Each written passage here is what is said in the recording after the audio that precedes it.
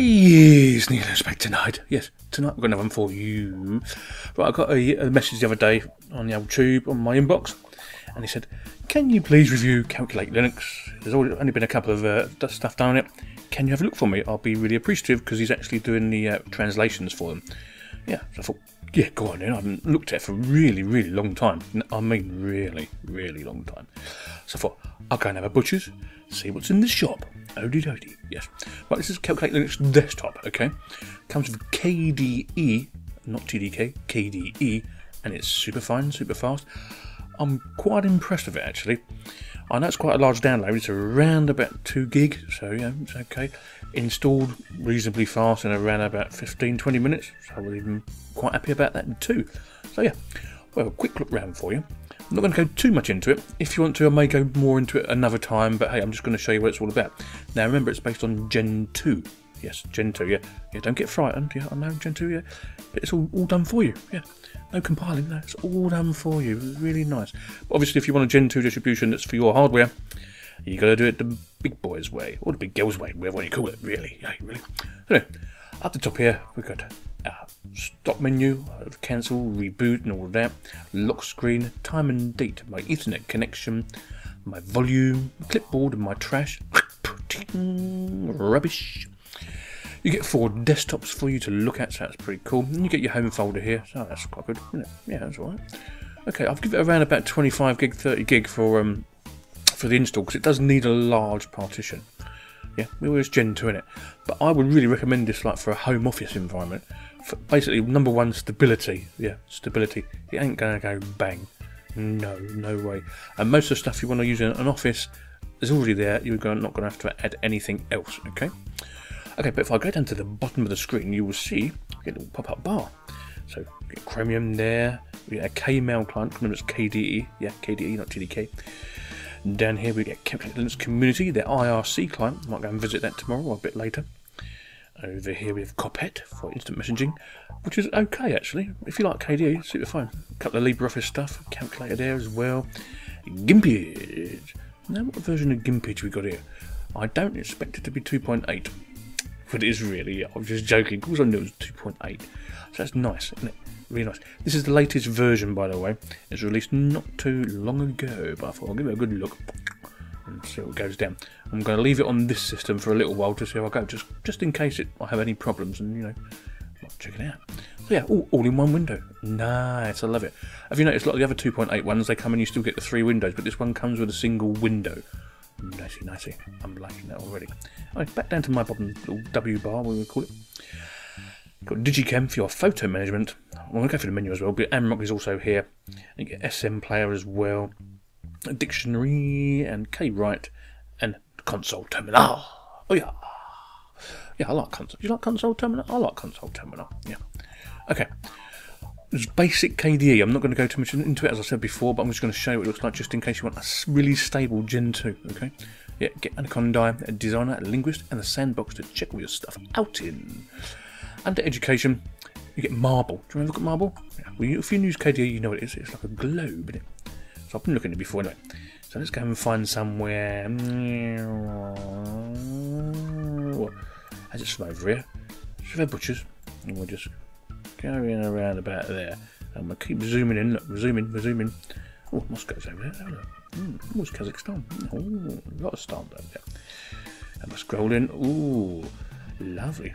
It's really good educational tool. If you just want a basic geography, you can only go so far. that if I just keep scrolling in. So you won't actually find if you've got a little town, it ain't going to be on you. It's Google Maps for that, it really. I'll go in a bit more. But there's loads of stuff in here for Moscow. Look, blimey. Yeah, let's grab a cat. Let's go to a different country. Just in case, if we go to Warsaw, which is about there. Let's have a look. Scroll it. It's quite good for Central Europe and stuff like that. Also, yeah, it's Central Europe we like to be called now. Before I get told off again, by the way. That's pretty good in Germany. Not so much for the UK, though, okay? Because we're out on a limit, we really, you know. But if I go to London, it should come up pretty okay. So I scroll in, come across the game, I'll scroll in a bit more. See all the big towns are there. But as soon as you start going to the small towns, there's not a lot there. But hey, that's not their fault. That's not your fault. But if you just want a uh, little look, it's there for you to use. Okay. Under graphics, right, you get quite a few here, as you can see. You get acquire images to acquire your images. digiKam, as I've told you before. A DNG image converter, yeah, nice. Gimpy we've been through, and Gwenview, yeah, Gwenview. KSnapshot to take a snapshot of your screen, which is super duper. Should we do one? Yeah, Gwen. So do one. Take a snapshot, no delay, and take. Dun, dun, dun, So it'll be there. It'll be taken in my folder somewhere. But hey, there we go. All done. To save as? Yeah, yeah, save as. We'll save that as snapshot one, all supported files. We'll save that in home. Why not? There we go. All done. We can now get rid of that, and we've took our snapshot. Super duper. Do you want to see it? I knew you would, so let's go and have a look. Okay, here we go. Not there though. It's gone. Where did I save it? Stuff it in the wrong place, obviously, didn't I? Silly me. Somewhere. Oh, there it is. In documents. We can open it up. If it hurries up and does what I want it to do. It's better. Oh, it's come up in Gwenview, that's why. Sorry. My mistake. That's at 40%. So we took a snapshot. That's a snapshot. Snapshot, even. Okay. Right. Where else was I? Oh, yeah. Okay. Under Internet aggregators here, BlueDevil for your Bluetooth, Choqok for your blogging client. Now Chromium is putting in as a browser.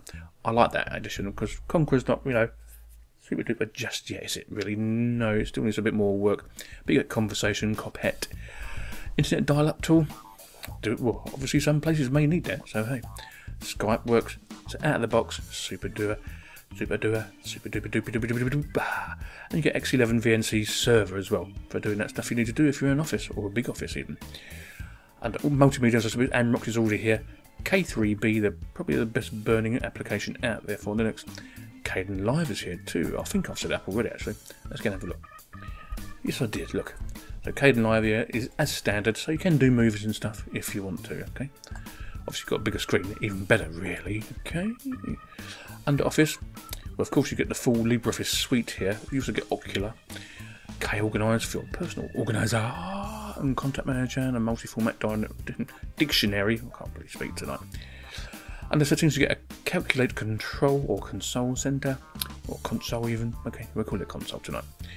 And system settings, we all know what it looks like. It's basic KDE. Yes, KDE. But for stability, I think it's super duper, yeah. Under system, of course, you get Dolphin as your file manager. HTOP, you've got process viewer here, but I'm just going to go down the bottom here. You can see all these, they're all here for you to use anyway. System monitor, I'm just going to check out what it's doing with my system. Right, I would expect it to use at least 280 mega RAM, so I'm not too worried about that. But CPU wise, it's not doing anything at all, really, is it? It's just humming along there with a nice desktop environment, so that's alright.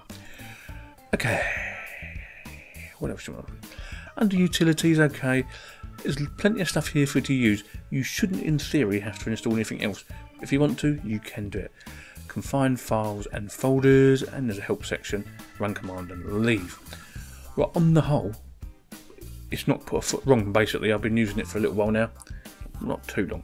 Well, yeah, a little while, yeah. And I've installed basically what I really need to install in it, which is nothing, because it already comes with everything you would need for a small home office, basically. You may need some extra stuff, maybe not but if you want to, you can just install them yourself.